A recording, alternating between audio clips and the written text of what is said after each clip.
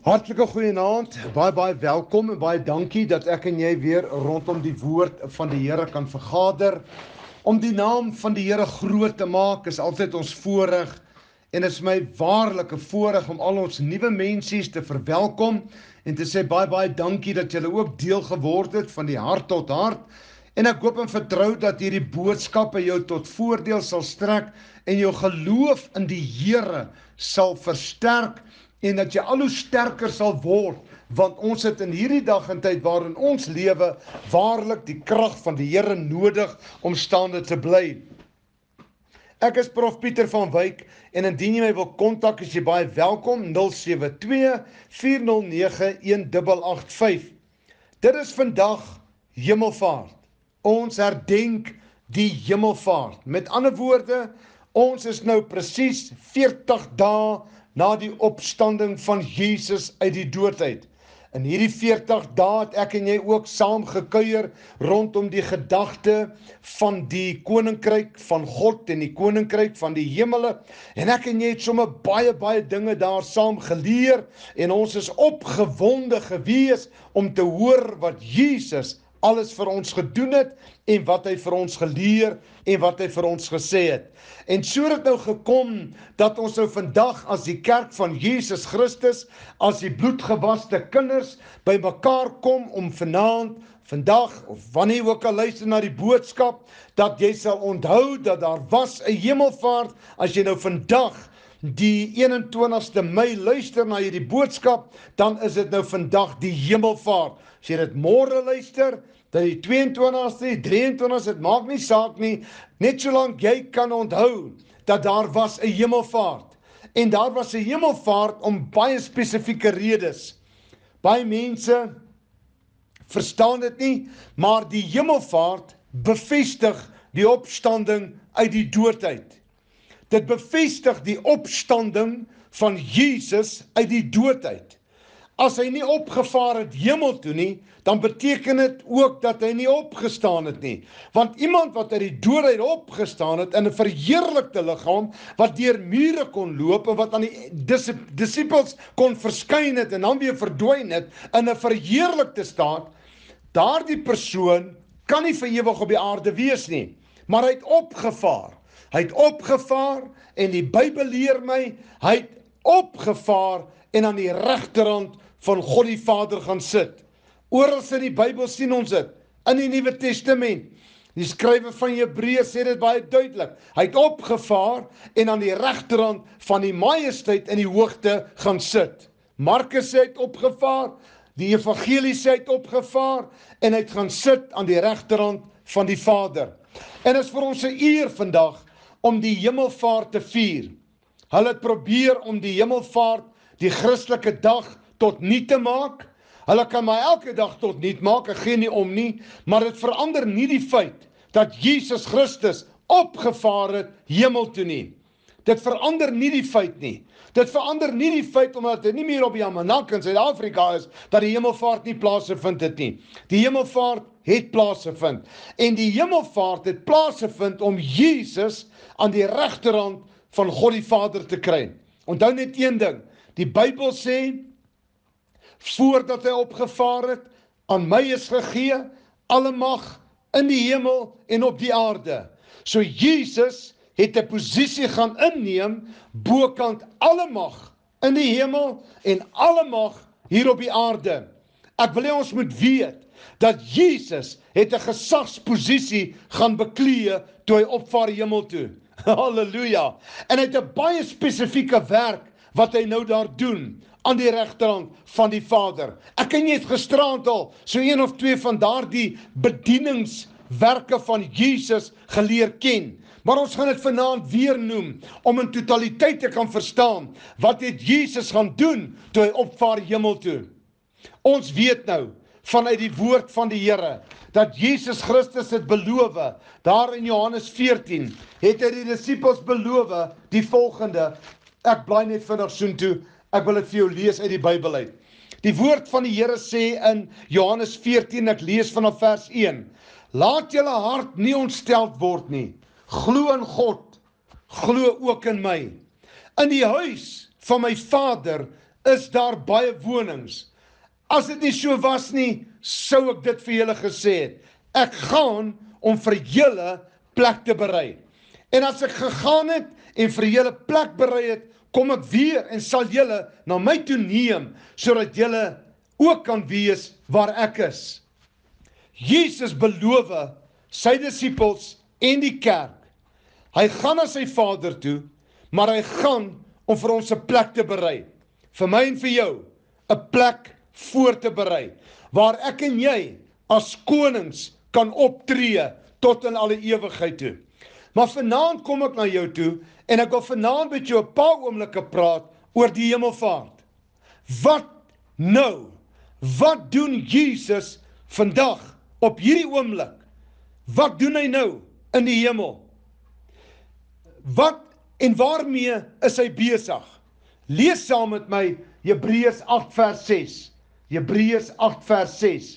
Maar nou het hy, dis Christus, 'n voortreffeliker bediening verkry vir sover hy ook middelaar is van 'n beter verbond wat op beter beloftes wettelik gegrond is. Jesus Christus is 'n middelaar. 'n Middelaar van 'n beter verbond. En dit spreek vir my van 'n verbond wat baie beter is as sy eerste verbond. Die Ou Testamentiese verbond kom nie naby die beloftes en die kodesieles en die krag en die heerlikheid wat daar is in die nuwe verbond nie, nie naby nie.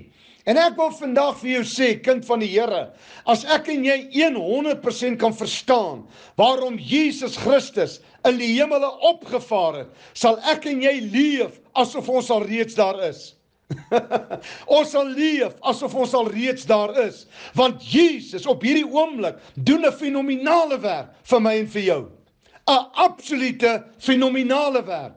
Hy lê 'n bediening af in die hemel. Die Bybel sê hy het 'n voortreffeliker bediening verkry deur sy kruisdood, deur die opstanding uit die dood uit. Deur op te vaar hemel toe, het hy 'n voortreffeliker bediening verkry, 'n beter bediening as wat hy gehad het toe hy op die aarde was. 'n Absolute beter bediening. Maar wat het hy daar gaan doen? Wat doen hy daar? Sit hy net daar aan die regterrand en laat die engele hom loof en prys en aanbid saam met die Vader? Wat doen hy daar? Wat doen Jesus nou in die hemel?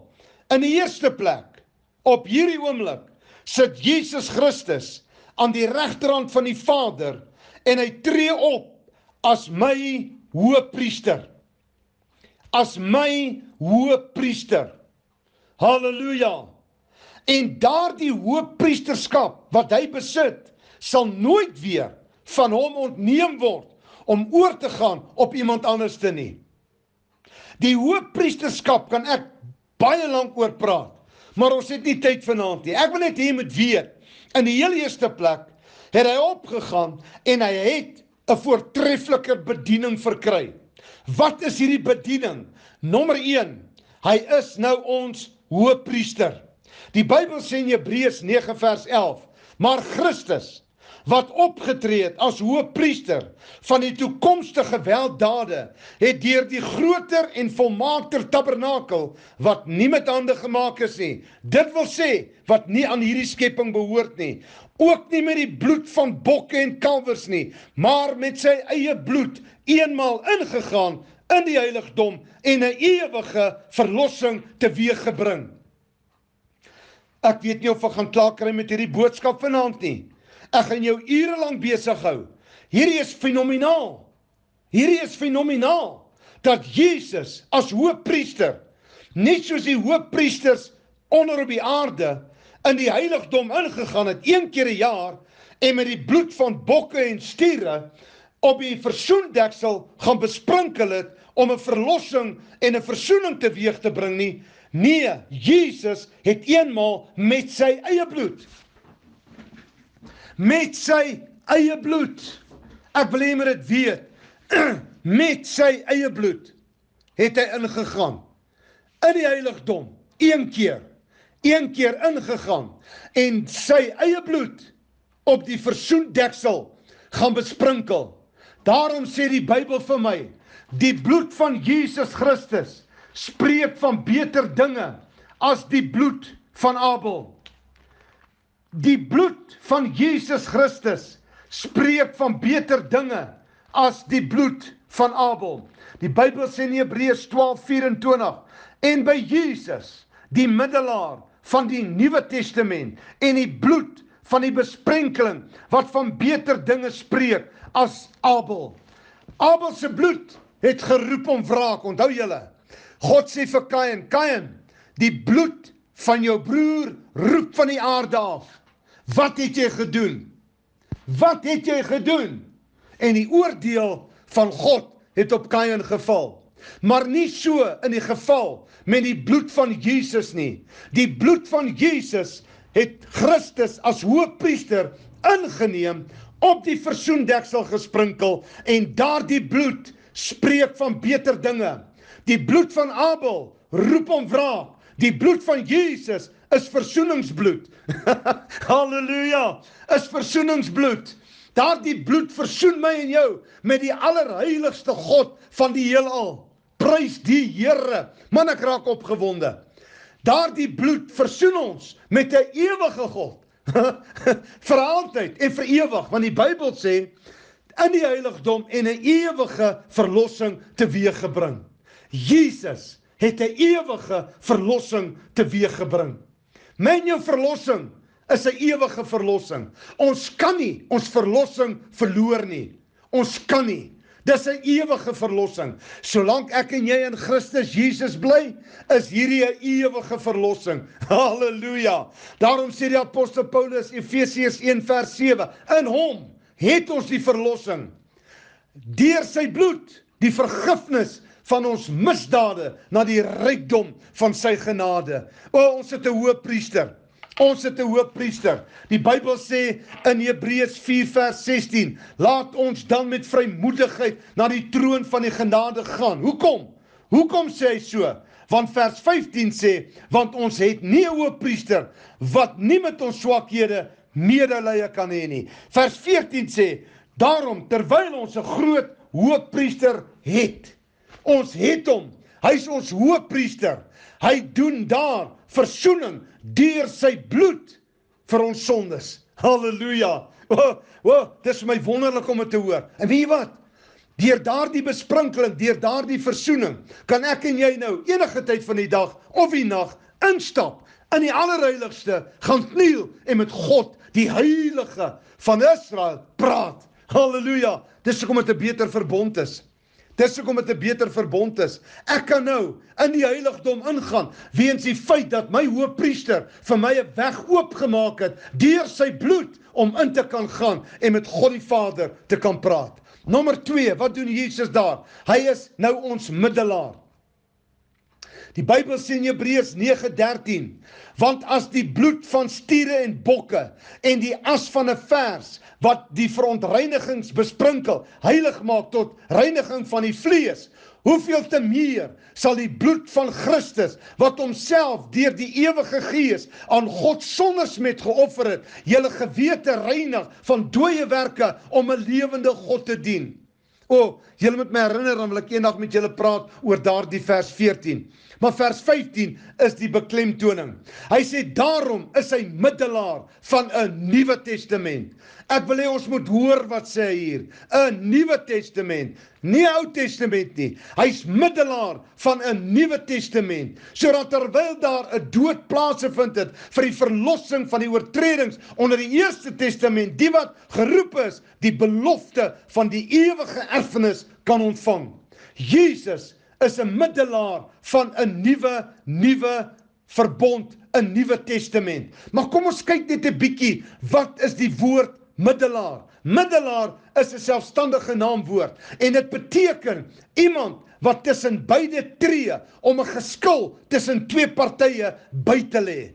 'n Tussenpersoon, 'n vredestigter, hersteller van vrede of die hersteller van vriendskap. Halleluja. o, oh, hy sit daar as middelaar van 'n nuwe verbond. En sy werk is as die middelaar om toe te sien dat daar voortdurend vrede tussen ons en God is. Hoor wat sê die Bybel. Ek bly vinnig soontoe ek's daar. Romeine 5 vers 1. Omdat ons dan uit die geloof geregverdig is, het ons vrede by God deur ons Here Jesus Christus. God is nie my en jou vyand nie, man. God is nie kwaad vir ek en jou nie. God is nie ons ons vyand nie. Ons veg nie teen die Here nie. Hy veg nie met ons nie. Daar is vrede.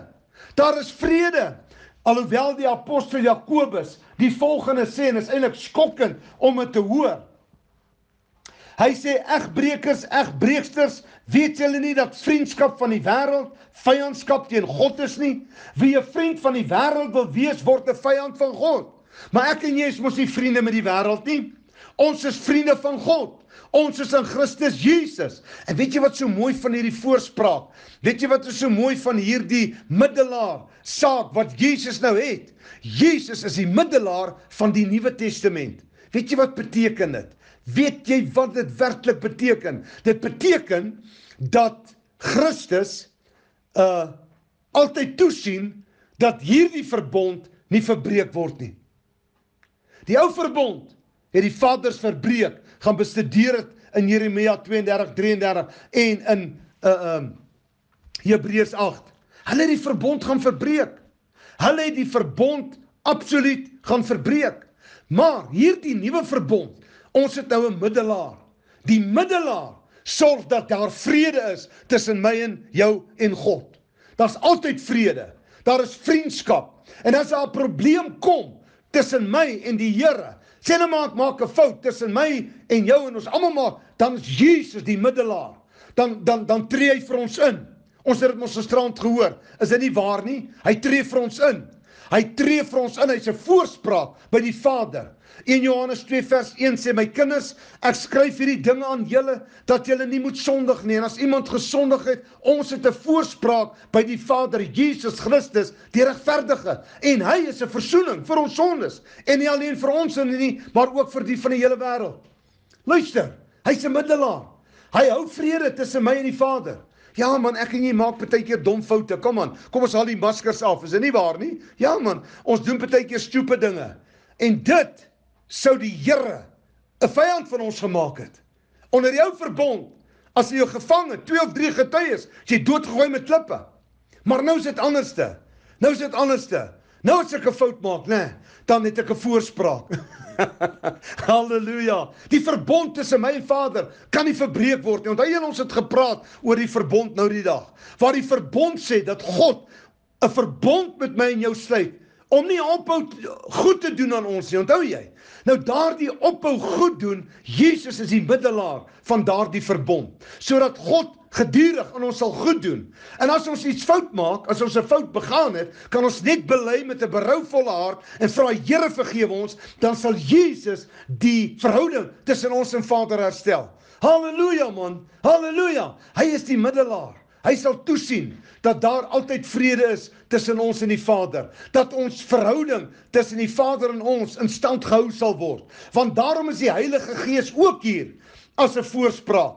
'n parakletos om ons te help om in die pad van die Here te bly. Ons het 'n dubbele hulp man. Ons het dit gisterand gehoor. Ons het 'n dubbele hulp. En dan sit Jesus aan die regterhand van die Vader, nie net om middelaar te wees van 'n nuwe verbond nie, maar en en en 'n uh, hoofpriester van 'n nuwe verbond nie, maar hy tree ook vir ons in. Ons het dit gisterand gehoor. Hy tree vir my en vir jou in. En as dit nou vanaand die eerste keer is wat jy dit hoor, die Bybel sê in Hebreërs 7 vers 25, daarom kan hy volkome red die wat deur hom tot God gaan. Daarom is jou verlossing en jou verhouding word in stand gehou deur Jesus Christus wat vir jou 'n voorspraak is. So as ons 'n fout maak, maak dit reg. Want Jesus sal dit regmaak by die Vader. Hy sal dit regmaak daar. Hy sal dit uitsorteer daar. Hy sal hy sal en weet jy wat? As Satan jou aankla en hy sê vir die Vader, kyk hy van wy, kyk wat hy nou weer aangevang. Slaat hom, maak hom dood. Jou wet sê maak hom dood. Dan is daar iemand aan die regterhand wat vir die Vader sê: "Vader, ek het vir Pieter van Wyk se sonde gesterwe. Ek het sy straf op my geneem. Ek het sy oordeel op my geneem. Die vloek wat op hom moes gewees het was op my Vader. Ek eh, hy's vergewe, Vader. Hy's vergewe, Vader. Hy's versoen deur my bloed." Dis wat die voorspraak doen. Dis wat die Here Jesus doen. Dis hoekom dit so belangrik is dat ek en jou se verhouding met mekaar en met Jesus altyd 100% moet wees. Halleluja. Dink net vir 'n oomblik aan 'n hofsaak. Hier staan jy in die hofsaal. Jou aanklaer is daar. Hy wil jou in die tronk smyt, maar jy het 'n voorspraak. Jy het 'n advokaat met die naam van Jesus. Halleluja. En as die aanklaer sê jy dit en dit verkeerd gedoen, dan staan die advokaat op en sê ek het betaal daarvoor. Halleluja. As die aanklaer sê jy moet sterwe en brand in die hel, dan sê Jesus ek het betaal vir hom. My bloed het hom verlos, my bloed het hom gereinig. Jy sien Jesus is ons voorspraak. Hy's ons middelaar, hy's ons hoofpriester. Hy sit in die hemel en ek dank God hy het opgevaar. Want as hy nie opgevaar het, het ek in die moeilikheid gaan. Maar nou sit hy in die hemel. Hy tree vir ons in. Halleluja. En nou weet ons ook teen hierdie tyd hy's ons voorspraak. Hy's ons advokaat. Is dit nie waar nie? Is waar.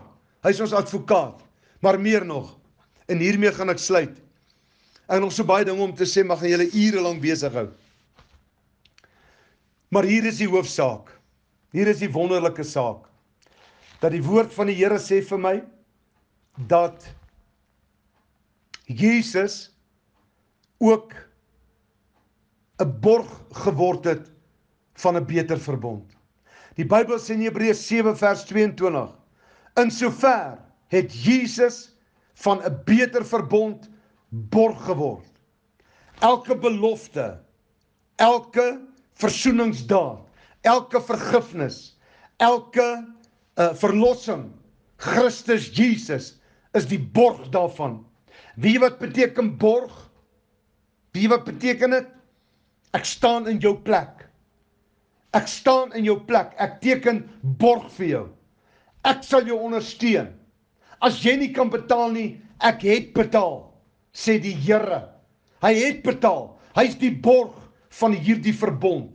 Hy het klaar betaal. Ons skuld is afgelos want hy het dit geborg. Hy's die waarborg dat ek en jy die hemel kan ingaan. Prys die Here. Ek is so bly hy het opgevaar. Hoe hoe dink jy vanaand? Jy ook bly Jesus het opgevaar. Maar ek wil net afsluit.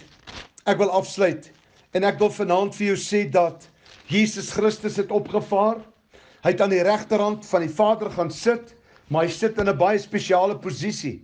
Die Bybel sê Filippense 2 vers 9 daarom het God hom ook uitermate verhoog en hom 'n naam gegee wat bo elke naam is sodat in die naam van Jesus sou buig elke knie wat in die hemel op die aarde en onder die aarde is en elke tong sou bely dat Jesus Christus die Here is tot die heerlikheid van God die Vader. O, ek wil vir jou vandag sê, maak nie saak wat omstandigheid jou in die oë staar nie. Dit maak nie saak vanaand wat in jou lewe verkeerd geloop het nie. Jy het 'n voorspraak. Jy kan terugkeer tot God. Jy kan weer huis toe kom. Jy kan weer jouself in orde bring en in vrede kry tussen jou en die Here. En ek wil vir elke probleem in elke stryd en elke demoon en elke duiwel en elke satan wat jou lewe 'n hel maak wil ek vanaand sê dit staan geskrywe dat jy sal bely en jy sal buig voor Jesus Christus want hy is die hoogste gesag. Hy is die hoogste gesag. God het hom verhoog uitermate verhoog. En ek het 'n opgewondenheid in my hart dit maak nie saak wat jou probleem is nie, daai probleem sal buig voor God. Sal dit nie buig. Dit wat in die hemel is, dit wat op die aarde is, dit wat onder die aarde is, elke tong sou bely dat Jesus Christus die Here is tot heerlikheid van die Vader. Hulle sal erken, hulle sal bely, hulle sal dit nie buig voor God. En hoor wat sê die Bybel nou? Jesus het 'n posisie gaan inneem. Die Bybel sê in Efesiërs 1 vers 20 wat hy gewerk het, is God die Vader in Christus toe hy hom uit die dode opgewek het en hom laat sit het aan die regterhand in die hemele. Halleluja. Bo alle owerheid en mag en krag en heerskappy en elke naam wat genoem word, nie alleen in hierdie wêreld nie, maar ook in die toekomstige wêreld. Luister vanaand. Jesus sit in 'n posisie met die hoogste gesag in sy hand. So wat is jou probleem? Wat is jou stryd? Wat is jou pyn? Wat is jou lyding vanaand? Wat wat wat is die naam van jou hartseer? Wat is die naam van jou pyn? Wat is die naam van jou probleme? Die Bybel sê Jesus sit bo kan dit. Jesus is gesetel bo kan dit. Hy oefen gesag uit oor elke omstandigheid in ons lewe. Hy is die hoogste gesag. Hy is. So al wat ek en jy moet doen is ons moet ons las en ons probleme en ons stryd vir hom gee. Hy sê elke naam in hierdie wêreld, ook in die toekomstige wêreld. Jesus sit bokant alle owerheid, alle mag, alle krag en alle heerskappy. Daarom sê Paulus, sodat in die naam van Jesus sou buig elke knie van die wat in die hemel, die wat op die aarde en die wat onder die aarde is. Jou omstandigheid sal dit nie moet buig. Jou pyn sal dit nie moet buig. Jou hartseer sal dit nie moet buig. Maak nie saak wat se naam jy dit sê nie. Jesus is bokant alles. Die hoofsaak sê die Bybel in Hebreërs 8 vers 1, die hoofsaak van wat ons nou gesê het, wat ek die afgelope bykant 26 minute vir jou gesê het, die hoofsaak nou van alles wat ons gesê het is dit. Ons, ek en jy, het so 'n hoë priester wat gaan sit het aan die regterrand van die troon van die majesteit in die hemele. Ons het 'n hoëpriester. En weet jy wat?